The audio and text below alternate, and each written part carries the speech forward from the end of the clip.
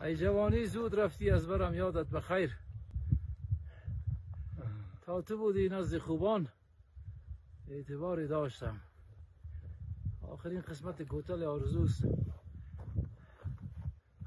نمیفهم شاید 4800 4900 متر ارتفاع داشته باشه. خیلی بلند است.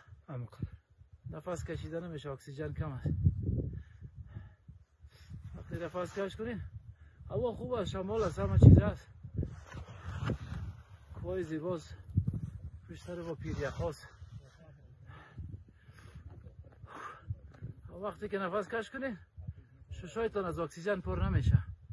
معنای کمبود اکسیژن است 1800 متر هم مقاومتگرا هستند همه کی موجود هستند هم بایرقشان زنده باد مقاومت.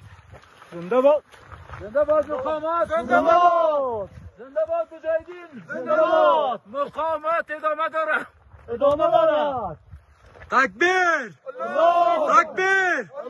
تکبیر. حضور بابا تکبیر دیگه نداشت. وای وای.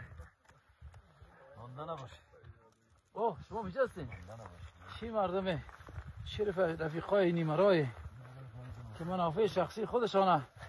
بر منافع جمع ترجیح میتن با پای میگه که رفت سرعت قطار باید به اندازه آهسته ترین شخص باشه که بارد از ما و سنگری سه است لیکن رفیقای ما به خاطر رسیدن به هدفشان عجله کردن. تجربه تاریخی نشان داده که هر کسی به خاطر رسیدن به هدف خود عجله کنه و شتاب کنه به اون نمی‌رسه تا دیدار آینده خداحافظ. اینی گیاره ایستم ایره به نام اجدم عزم اجدم میگه ایره. ای به تفلکا مفید به تفلاشی چوش دلش هم می‌گیره بسیار غلط آمده